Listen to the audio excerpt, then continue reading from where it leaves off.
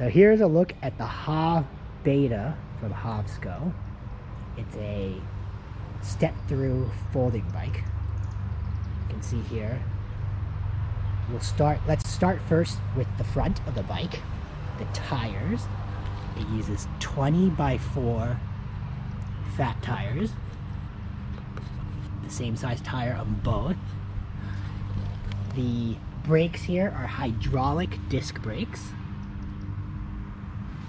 The front of the bike here features a, the fender does not come with it, so that one was added to the bike. It's got front suspension, a, the Hov, Hovsco logo right here, and a light going to the middle of the bike. The battery attaches into the frame, integrated removable battery, giving a nice clean look. The color of the bike here is purple, um, which is pretty nice because it's not a normal purple color compared to other bikes. And then moving the pedals here, these pedals can fold up actually. A rear rack which I've added to the bike. And then rear fender as well which I added. It's got seven speeds. And a light, not an integrated rear light, it's a removable one, but it does slide into this little um, slot here, so it's an easy slide it in.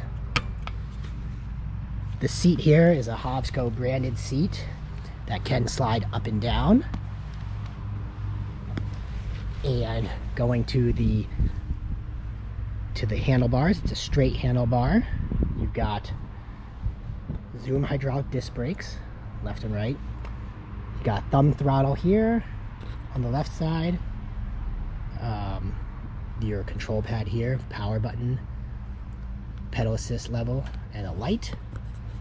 You got the LCD screen, which shows your pedal assist power and speed and battery power and then other information. And then seven gears as well. Handlebars are okay. Kind of plasticky material. You could easily switch those out if you wanted. And this handle stash uh, cup holder is just one I added to it. And let's show you how easy it is to remove the battery. It just pops right out. You see here, a heavy battery. Comes with a light actually too on the battery. So if you needed to light something up in the dark, you could. And then put it in, it just slides right in. So that is the overview of the Hovsco. Okay, so my impressions of the bike, of the Hov Beta. We're currently taking it to run some errands. And right off the bat, this bike is a very comfortable bike. It's got the big tires, put you kind of low to the ground. So it's more of a, I'd call it a more of a moped style bike. Uh, if I had to describe it. And the nice thing though is that even though it is a moped style bike, and sometimes you can get that situation where it can be difficult to pedal because of the position it puts you in, because this the Hov Beta has a adjustable seat, it makes it a lot easier to pedal because you can adjust the seat to the correct height for yourself. So the torque sensor is the big thing with this bike that I had to get used to when I first got it because all my other e-bikes I have are cadence sensors. Um, I think I have one other torque sensor bike, but for the most part, I have cadence sensor bikes, which basically, when you have a cadence sensor bike, all it's doing, the pedal assist sensor, is just seeing if the if the pedals are rotating, and every time it does it, it's gonna send send you a boost of power based on whatever pedal assist level you're at. With a torque sensor though, it's based in on the pressure that you put on the bike. So if you're not used to that, if you're more used to the cadence sensor, which most people are gonna be used to that one, you'll feel like, oh, why isn't this bike going faster? And it's because this bike is meant to match your the speed, the, the power that you put into the pedals. So when I first started, I was just kind of pedaling in my normal way, which is I'm just barely pedaling and I wasn't going very fast, which made me think, oh, what's up with this? Is it just uh, underpowered? But actually, if you really get this thing moving, if you start pedaling for real, the pedal assist does the same thing. It picks you up. It starts moving a lot faster. So of course, we can kind of look here at the cockpit of the bike here, the handlebars. Um, I uh, first, the you know, you got the the two brakes here. You got the throttle on the left side, which this is a comfortable throttle. I'm usually I usually prefer twist throttles, but this throttle is actually totally uh, a different type of thumb throttle I think that I'm used to, and it, I really like it. I think it's a good one. It's got a nice little padding on it too, which makes it a lot more comfortable to ride. And then you've got this LCD screen, which does pretty good. It gives you a lot of information on it, and it's uh, pretty bright, even in the sunny weather here. You might not be able to see it well on the screen or on the video here, but even in the sunny weather, I'm able to see it, which can usually sometimes be difficult to see. So besides that, you've got the shifters on the right here, seven speeds. Um, on an e-bike, I don't really shift that often, but you can see it shifts very easily, very smoothly, no problems.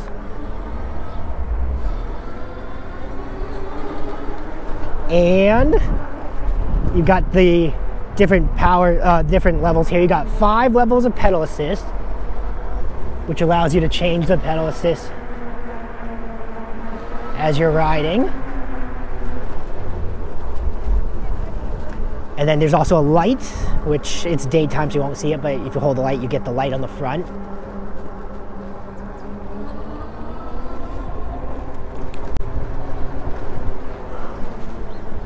And then that's basically the these handlebars here when you're riding. I added this handle stash uh, bike holder.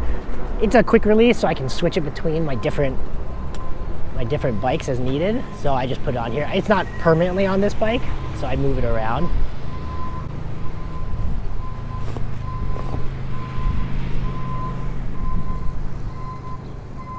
Oh.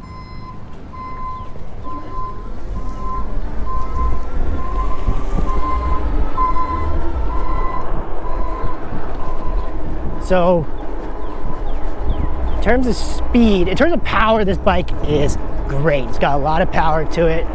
Uh, I currently have it on class 2 mode, so it'll max out about 20 miles an hour.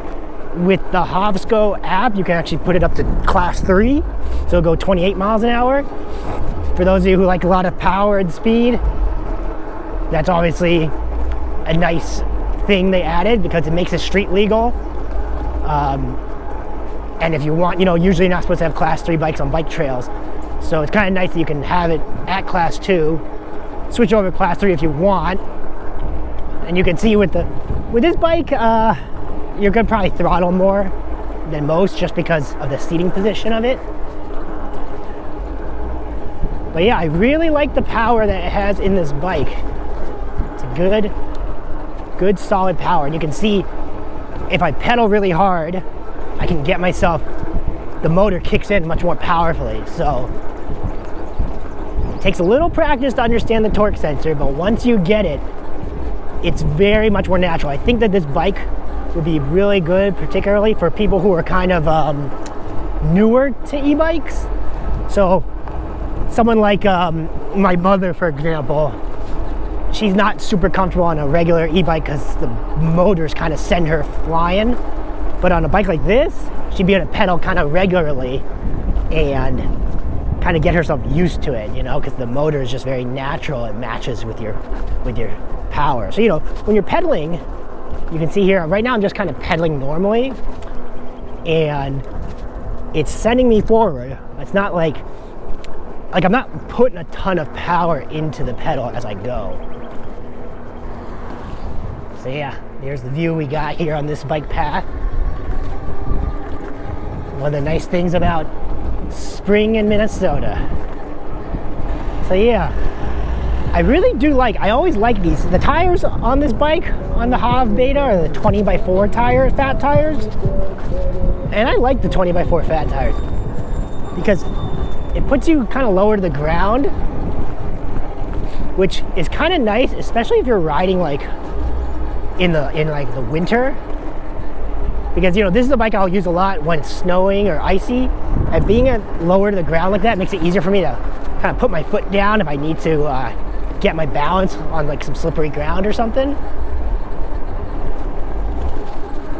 And it's also nice that if you're doing like food delivery, like you're doing DoorDash or Uber Eats or Grubhub, having a bike that's lower to the ground like this, it makes it a lot easier to get on and off. And it doesn't sound like a big deal, like to have to get off quickly and to get back on the bike quickly. But, you know, food delivery can be kind of tiring and can kind of take a toll on you. And you'll be surprised at how much better it is when you can kind of jump on and off a bike really quickly. So that's one thing I really do enjoy about this. Uh, you know, the, the brakes on this bike are Zoom hydraulic disc brakes, and they get the job done. You know, I feel very comfortable on a bike like this, and I think that a lot of people would feel very comfortable on a bike like this. And you know because it has the fatter tires too it makes it you know really it makes it really work out well for kind of city riding like this. You know you hit the bumps no problem at all. And it has a front suspension so that also helps absorb some of the bumpiness if you're you know riding somewhere with uneven ground you know you could probably take this off-road too i don't really do a lot of off-road biking so I'm not probably to do that. But you could probably take this off-road too. It would definitely do fine on rocky ground or, or dirt ground for sure. And now here we are going kind of into the street. And this is the nice thing about a bike like this. See, if you wanted to, you could put it at class three and easily keep up with traffic, no problem. even in class two mode, I'm easily 20 miles an hour, totally fine on these kind of side streets here. I don't think, not too many cars are gonna get mad at you for your speed. So I haven't, I haven't done a full range test yet. I didn't actually have the bike fully charged up when I was, before I took off on this trip. So uh, the place I'm going is about five miles away. On the return, it'll be five miles, so I'll have plenty of battery. Shouldn't be a problem at all. So yeah, if I had anything to say about this bike, I mean anything negative, you know, it does, the motor is kind of loud, I guess. It seems louder than like some of my other bikes. Like I can really hear it going. That's not a bad thing necessarily. I just, I hear it a lot more compared to some of my other e-bikes where I don't really hear them that much. Actually, you know what I'm gonna do? I'm gonna put it up to class three since we're here anyway. So I'm gonna take a little break here. We'll put it up to class three mode. So you can see right here in class three mode. I'm at 21 now, but I'm only on pedal assist three. I'm gonna put it up to pedal assist five. And it should, on power assist five, and that should get me going.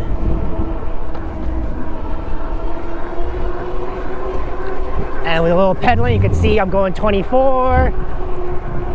Ah, can't seem to get myself up to 28 though.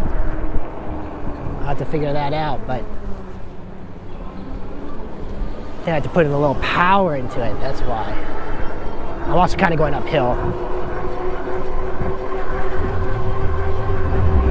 So 24 right now, going up the hill.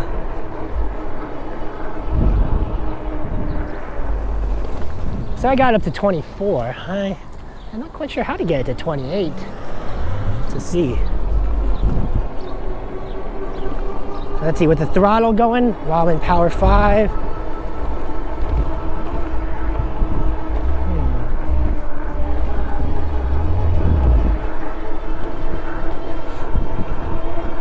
Let's see, so in pedals, in yeah, so in class three mode, I'm definitely able to get it to 24 pretty easily, but I don't seem to be able to get it higher than that right now. But I also may just, just may not know what I'm doing.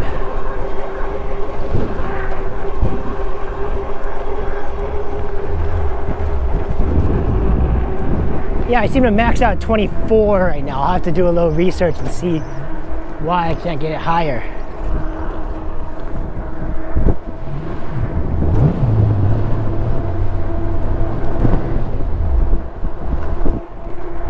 Not a big deal though.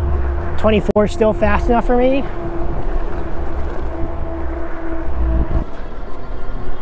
Yeah, so right here you can see I can ride on the main street here. And I feel pretty comfortable riding on this main street. Just because I can keep up with traffic. So you can see I'm going 22 on this one. And these are 25 mile per hour streets, so I'm not so far off.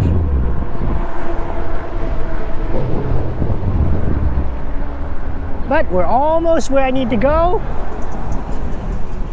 How long did it take me to cover that five miles? So cover five miles there, I got here. I mean, my filming time on this was 19 minutes, so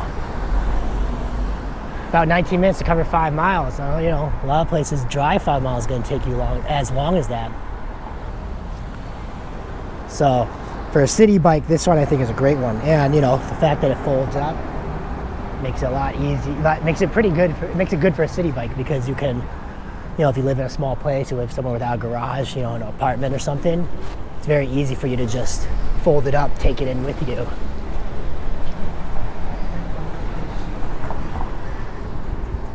See, so one thing nice about torque sensors when you're riding kind of like in a spot like this where you're just in the middle of everything, you can just kind of pedal slowly, just like a normal bike and it's not gonna jolt forward, which is nice.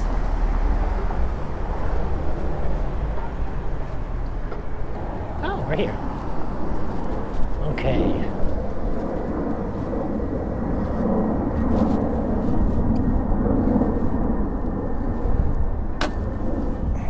So, just some other things to look at as we look at the bike here on this little recent ride down here. The rear rack is helpful, as you can see. I've got myself just kind of a little um, little city bag here on the back. It's just a just um so I can hold some basket on the back too if you want it. I just stuck with that for now, and I've got my cup holder here. So yeah.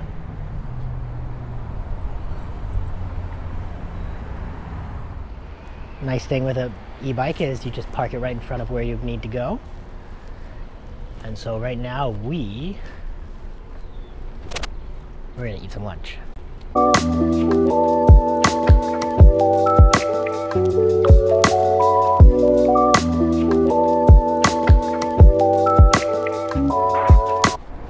Okay, just finished up eating my lunch. So, I am gonna ride this bike back. Got about five miles to go. And I'll just make sure I don't bump into people. So, I don't know if I mentioned how the handlebars are. It's kind of like a straight bar across. Um, I like it, you know, I kind of like the curved swept back bars and these kind of straight bars. Kind of mainly because it can gives you this kind of upright position. It's a little more comfortable that way, you know. Since I'm uh, since it's an electric bike, you got e-bike, you don't really care about having. You don't really need it to be um, aerodynamic, so having bars like this is pretty nice. I guess is what I would say. The bars are pretty good.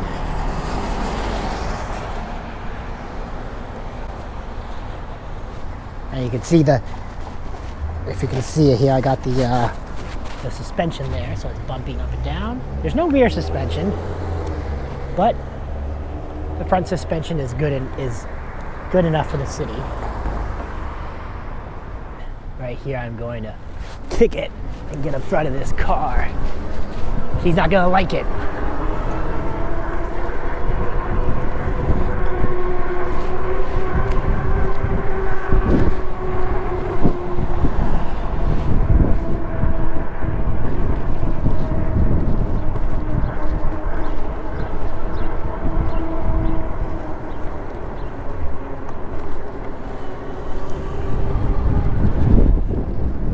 Myself off that busy street. So, who is this bike best suited for? Well, I'd say if you live in the city and you have limited storage space, this is a getting a folding bike is a must. And for kind of a good budget and folding bike, is a great one. You know, of course, you could go much more high end on a folding bike, a folding e-bike. You know, Brompton comes to mind, but you know, Brompton's going to cost you maybe two, three, times, probably three times more than this bike. So you can see kind of why you would want to do this, depending on your budget. Yeah, so that's probably that's probably the first person who would be really target for this bike is someone who just needs to be a, have a small, convenient, powerful bike, get around the city, and can fold up and store easily. Because if you live in an apartment or you don't have a garage, you know, you can just fold it up, bring it in, and you're good. Another option, another person would be good is, I think someone who's kind of small. It would be good is, I mean, I'm I'm five foot ten, about 150 pounds, and you know, this bike fits me very well, I think. It's not like the best for pedaling if I wanted to like use like a real, like a normal bike, but it's good for good for what it for I mean it fits fine for my size and I can definitely pedal it and I can pedal it extended while and feel totally good um, but it definitely will be real good for someone who I think if you were someone who is like pretty small, this would be a comfortable bike for you because not only can you kind of hop on it, you know, the step through frame, the small, low to the low to the ground base makes it real comfortable to ride for someone who's shorter. So a third option for who this bike would be good for, um, someone who's doing deliveries, food delivery, I think would be a great bike for that. You've got the rear rack, so you can put a basket or something, you know, to hold the food. And because it's so compact and small, it's easy to bring it into places. You know, if you need to put it into like an entryway or um, or like bring it into an apartment or something that you're um, delivering to. Very easy to do that. I probably wouldn't fold it up. It takes too long to fold it up to do that, so you wouldn't like fold it up and put it inside. But it's small enough. I mean, it's not super long of a bike, so you can wheel it in easily into a entryway of a restaurant, entryway of an apartment building or something.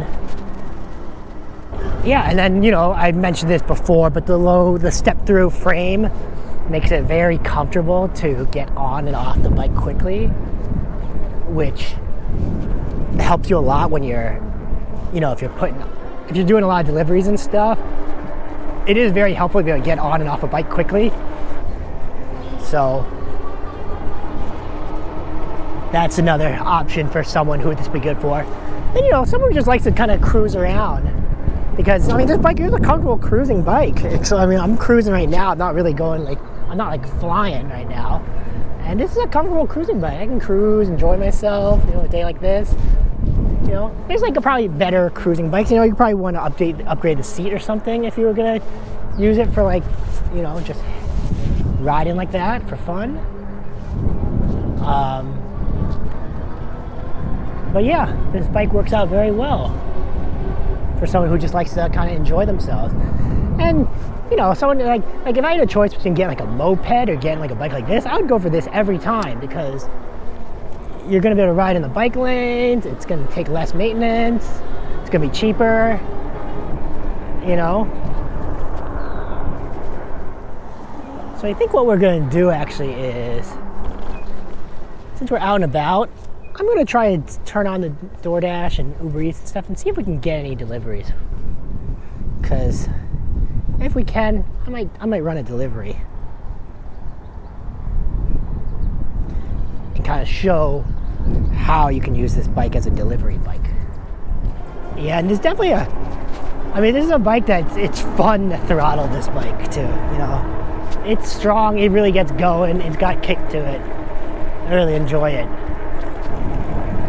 Yeah, so see in terms of the suspension and stuff, this bike is really uh it really is good for city because you know here it is this this bike path it's a little bumpy but with the fat tires and the front suspension really don't feel anything on it. Very smooth ride. So you know maybe I was going to do something I probably might upgrade the seat. The seat's not the best seat the, whatever the stock seat is. A little bit hard.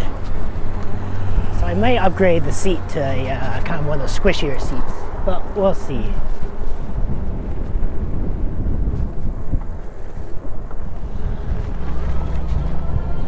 All right, we just got a DoorDash delivery request, a double order actually, paid $9.25. So we are gonna go pick that up on the HovBeta and see how it performs. The order is a Crisp & Green salad place and a Subway. Should easily fit in my panniers. It's not going too far either.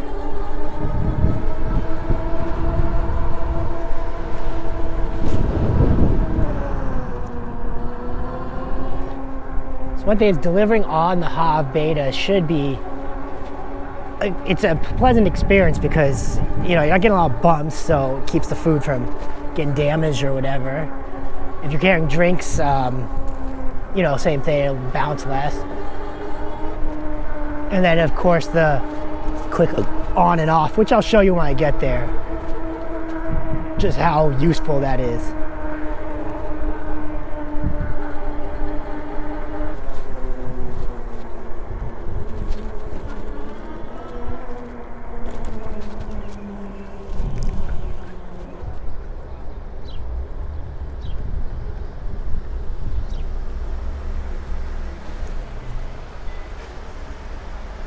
And so, yeah, you can saw how easy it was for me to just pop off the uh, bike. Thank you.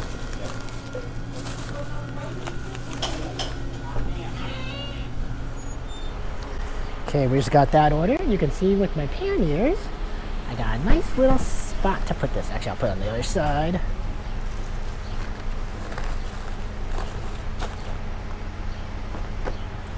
Now I'll go pick up this Crisp & Green.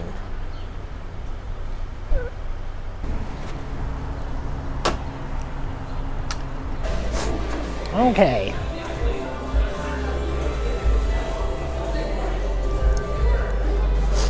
John D. Why did they not give me in a thing?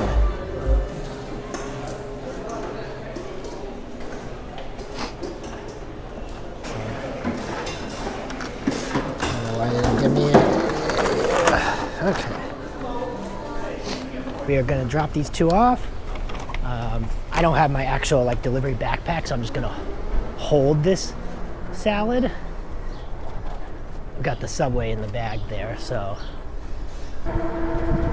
one thing that's nice about a throttle e-bike like this is I can just throttle.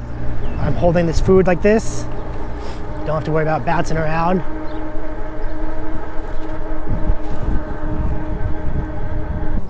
Now I think about one thing that is missing on this bike that would be useful is a bell.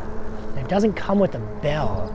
I might put, I mean, you know, I can just put my own bell on it. They're not expensive, but that would be nice to have.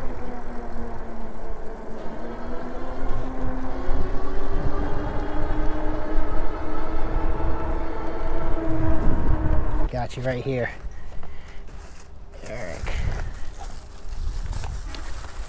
There you go. Have a good one. Okay, we just got just dropped off that order. Now we got to get to this one. It's a bunch of construction going on here, so it makes it a little bit more annoying to get around.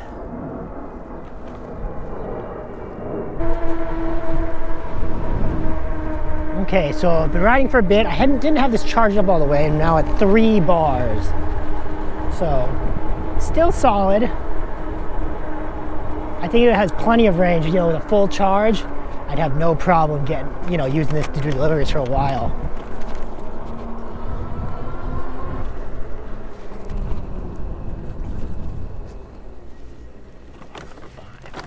Hey, how you doing? Thank you so much. There you go. Have a good one. All right, so we just finished our two deliveries. We'll probably call it like quits on that one. Very fun bike to ride. So, final thoughts on this bike. I think is a great bike. I think it's super fun to ride. Um, I think it's a very versatile bike as well, especially if you add the racks to it and everything. It really gives a lot of, you know, in retrospect, I wish I had put the front rack. I wish I had gotten the front rack too. But um, I think this is a very versatile bike that is really, you know, useful for a lot of people. You know, city living, commuters, people who just want to ride for fun. This bike definitely can cover all of those bases. And at the price point it's offered at, you know, typically about 1700 bucks, depending on sales. I mean, it's under $2,000 bike and you get a lot for it. You know, obviously things you want to be aware of with an e-bike that you're buying online. Um, you know, you got to figure out how you're going to maintain it. Most bike shops can handle just about everything with the e-bike. Um, but you gotta be careful because some bike shops won't work on on e-bikes because unless they sell them. So luckily, here in Minneapolis, I found a I found a shop that's willing to work on any e-bike. So that's very helpful for me. But um, even if you know if you're just um, even if you're just if you just have like regular things to do, tune-ups, those kind of stuff, most every bike shop can handle that.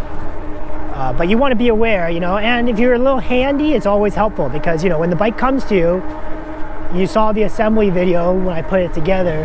Um, you got to do it yourself, you know. Obviously, I mean, you can probably take it to a bike shop and they'll do it for you, but a little bit of knowledge about how bikes work is useful.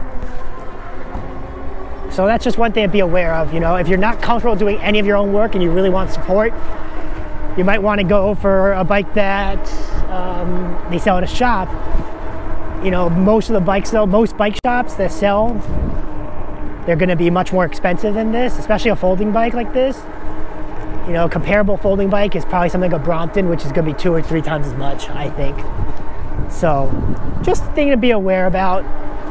But overall, this bike is a ton of fun. It's definitely one of my favorite bikes I've currently got right now. You know, when it comes to styles of bikes and form factors of bike, folding bikes are very useful.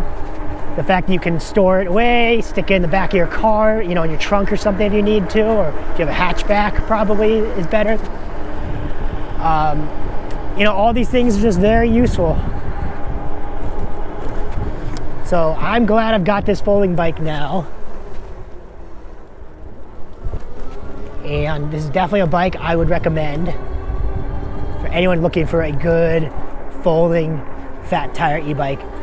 Um, you know, when I when it comes to winter, once it gets to winter time again, I'll probably do another update video on this bike just to kind of show how I use it in the winter. Because this bike's definitely gonna be one of my winter bikes, just um, because of the fat tires, you know, so it can help me get around.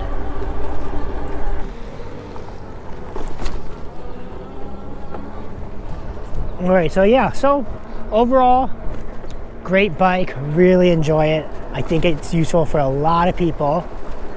Definitely recommend you check out the Hav Beta if you're in the market for a folding fat tire e-bike, or even if you're market just for a regular, any regular e-bike or a fat tire e-bike, this is a great bike that can fit a lot of different people. So yeah, that's gonna do it for this review. Um, you know, I hope you saw what I was able to do with it. I was able to take it for, you know, a five mile trip, grab some lunch, run some small errands, do a few DoorDash deliveries too on the way. And, uh, and yeah, and really get, you know, enjoy myself on this nice day. Way better than hopping in a car, that's for sure. So yeah, if you have any questions uh, about the HovBeta, you know, feel free to leave a comment, shoot me an email. You know, I've got a full review of this bike on my website as well if you want to check it out. And um, yeah. So thanks for watching, and I will see you all in the next one.